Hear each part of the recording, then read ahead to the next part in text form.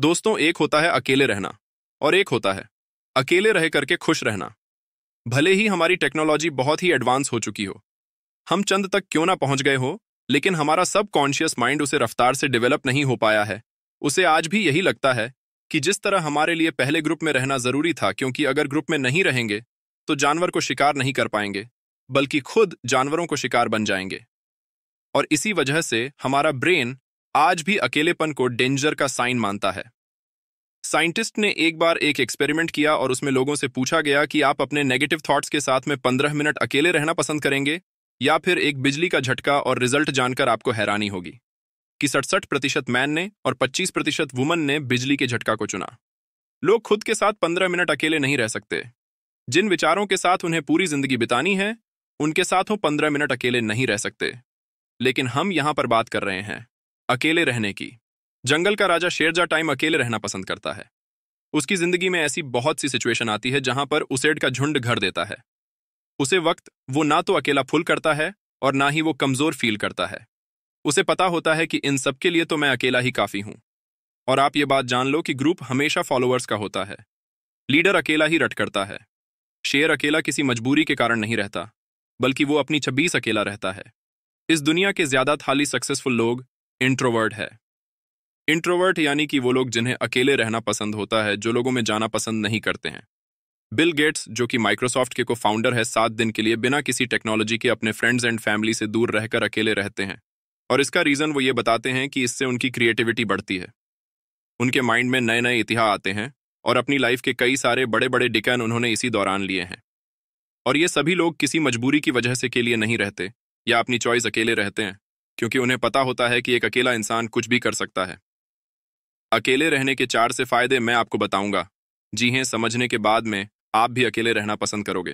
पहला पॉइंट है boast creativity Nicola TET जो कि एक महान वैज्ञानिक रह चुके हैं, जिसकी वजह से हमारे घर में इलेक्ट्रिसिटी ए रही है, जिनकी वजह से आज हम इतनी गर्मी में एशियाई कूलर की हवा ले रहे हैं, जिन्होंने 300 से भी ज़्यादा इन्वेंशन किए हैं। उनका कहना यह है कि be alone that is the secret of invention, be alone that is when ideas are born, अकेले रहो। क्योंकि यही वो समय है जहाँ पर आतिया पनपते हैं, अकेले रहो। क्योंकि यही वो टाइम है जब इन्वेंशन होते हैं। निकोला टेसा जब खोज कर रहे थे, तब उनके पास कोई भी ज़्यादा बड़ी टीम नहीं थी। उन्होंने ज़्यादातर जो इन्वेंशन है वो अकेले रहकर अपनी लाइफ में की है। और रिसर्च बताती है कि जब आप अकेले होते हैं और कुछ भी नहीं कर रहे होते हो तब आपके ब्रेन के डीमेन, यानी कि डिफ़ॉल्ट मोर नेटवर्क में ज़्यादा एक्टिविटी होने लगती है। और इसी नेटवर्क वजह से इंसान क्रिएटिव सोचता है। उसके ब्रेन में नए नए इतिहास आते हैं। सर आइजक न्यूटन को भी ग्रेविटी आइडिया तब आया था, जब वो अकेले एप्पल ट्री के नीचे बैठे। दा, मेरे इस यूट्यूब चैनल पर इतने सारे वीडियो है। इनमें से एक भी वीडियो ऐसी नहीं है जो कि मैंने किसी के साथ बैठकर बनाई हो। सारे वीडियो के आइडिया मुझे अकेले में आए हैं, और सभी वीडियो की स्क्रिप्ट मैंने अकेले बैठकर ही लिखी है। अगर मेरे साथ कोई है तो मैं कभी भी कम नहीं कर सकता। मुझे एकांत माहौल चाहिए। क्रिएटिव सोचने के लिए सेकंड पॉइंट इंक्रीज फोकस जब आप अकेले रहोगे तो उन सभी लोगों से दूर रहोगे, जो कि आपका ध्यान भटकते हैं। आपका पूरा फोकस बस एक ही जगह पर रहेगा। आप शाहकर भी भटक नहीं सकती। आज से चार साल पहले जब मैंने अपने यूट्यूब चैनल स्टार्ट की थी, तब मेरी लाइफ में सिर्फ़ तीन से चार ही फ्रेंड थे, और उनसे भी मेरा मिलना बहुत ही कम होता था। उसे वक्त में ज़्यादा टाइम अकेला ही रहता था। और मुझे बहुत अच्छा लगता है अकेले रहना, क्योंकि अकेले में मेक जॉन में होता था।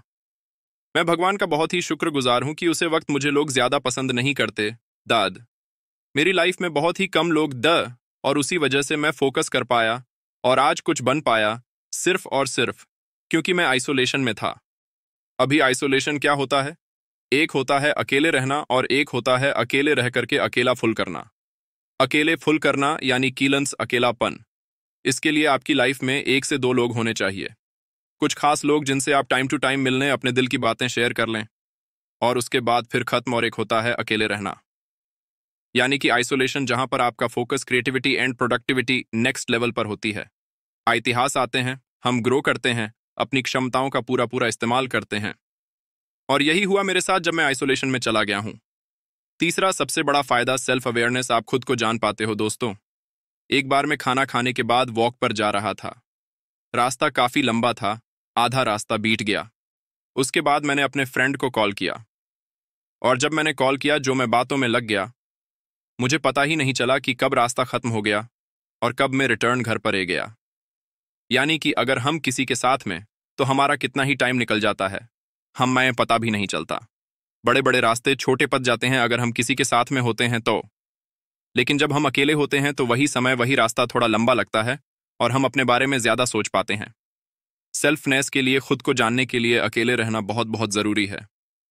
और अगर आपको यह लगता है कि आप सेल्फ अवेयर हो, आप खुद को बहुत ही अच्छे तरीके से जानते हो तो आप सभी लोग ये बात जान लो कि पाँच हज़ार से लोग द, जिनको ये लगता था कि वो सेल्फ अवेयर है। लेकिन जब उनका सेल्फ अवेयरनेस का टेस्ट किया गया तो उनमें से सिर्फ़ 10 से 15 प्रतिशत ऐसे लोग जो कि सेल्फ अवेयर जिन्हें अपना पेशेंट पता था, जिन्हें अपनी स्ट्रैट बताती, जिन्हें अपनी वीकनेस बताती। बाकी लोगों के अंदर सारी चीज़ हैं, लेकिन उन्हें पता कुछ भी नहीं है। तो अकेले समय बिताओ और खुद को जानो। क्योंकि जो पूरी दुनिया को जानने में लगा रहता है, वो किसी को भी नहीं जान पाता। लेकिन जो खुद को जान लेता है, वो सभी को जान लेता है। नेक्स्ट पॉइंट यहाँ पर आता है मास्टर योर इमोशन यहाँ पर फिर से वही बात आती है कि जो इंसान अपनी इमोशंस को समझ लेता है, वो पूरी दुनिया के इमोशंस को समझ लेगा। Royal Enfield mountain and Maggi और इसी और भी कई सारी कंपनी के आपने एडवर्टाइजमेंट ज़रूर देखे होंगे। ये सभी कंपनी जब भी ऐड करती है तो ये कभी भी अपने प्रोडक्ट बारे में बात नहीं करती है। वह ये नहीं पर बताती कि उनके अंदर क्या क्या इंग्रेडिएंट्स से क्या स्पेसिफिकेशन है, इसका टेस्ट कैसा है। उनका सिर्फ़ एक मकसद होता है कि उसे को वो लोगों की इमोशन के साथ में कनेक्ट कर दें। क्योंकि उन्हें पता है कि लोग इमोशनली ज़्यादा कनेक्ट होते हैं। अब सवाल यहाँ पर यह आता है कि ये जो मार्केटिंग कंपनी है, ये लोगों के इमोशन को समझ कैसे पाते हैं? सिंपल सा तरीका है कि ये लोग पहले खुद की इमोशन को समझते हैं, उसके बाद ये पूरी दुनिया के इमोशन को समझ जाते हैं। तो इन फ्यूचर में अगर आपको लोगों को इन्फ्लुएंस करना हो या फिर आपका कुछ भी ऐसा कम हो, जहाँ पर आपको लोगों को इमोशनली कनेक्ट करना हो तो आपको खुद के इमोशन को मास्टर करना बहुत ज़रूरी है। और खुद के इमोशन को समझने के लिए आपको पहले खुद को समझना होगा और खुद को समझने के लिए आपको अकेले रहना ही होगा। तो इसलिए अकेले रहे, एकांत में रहे और अपनी पूरी आत्मा एक कम में। दल दो, एक दिन। लोग आपसे मिलने को। तरस जाएँगे। दोस्तों, इस वीडियो में इतना ही। अगर आपको ये वीडियो अच्छी लगी हो तो लाइक करें एंड चैनल को सब्सक्राइब करें को प्रेस करें। मैं आपसे मिलूँगा अगले वीडियो में, तब तक के लिए। जय हिंद, जय भारत।